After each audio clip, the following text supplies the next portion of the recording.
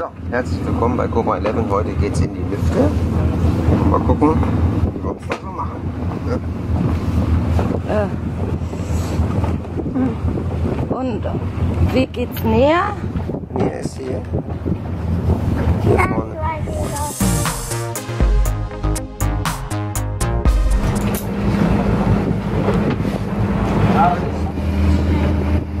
Fall.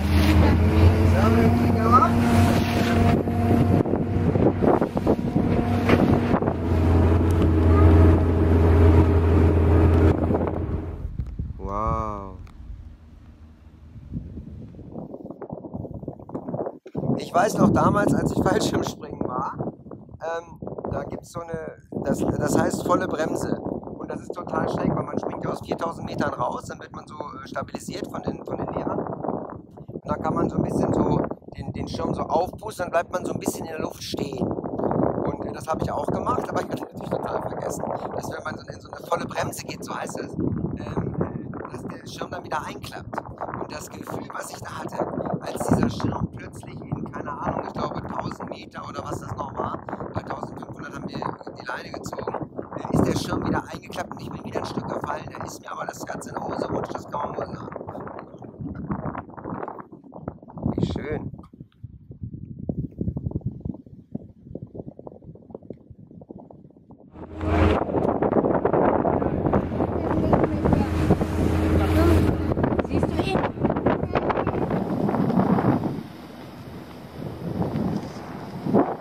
Yeah.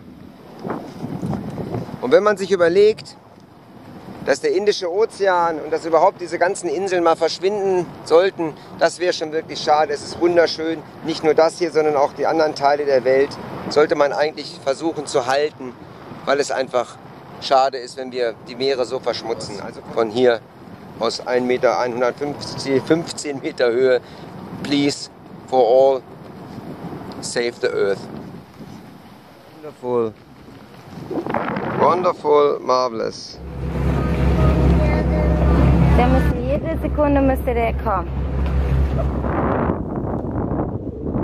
Jetzt, jetzt stellt sie mich so ein bisschen gegen den Wind, damit ich landen kann, damit sie mich wieder normal aufs Boot runterzieht.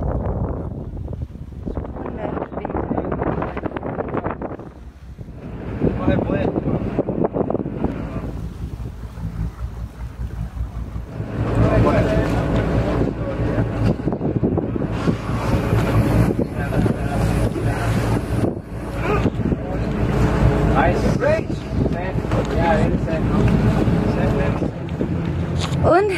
Ja, ist äh, wundervoll, total geil, war ganz toll. Es ist oben ja ruhig und so. Ich mag das ja total, wenn ich so eine Höhenangst ne?